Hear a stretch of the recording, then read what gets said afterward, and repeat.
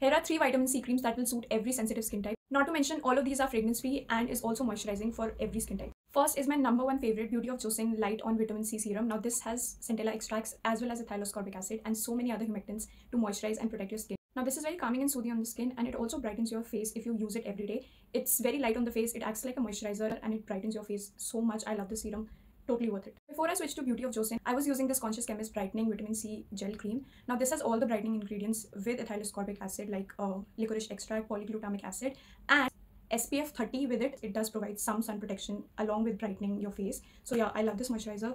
Great for everyday use.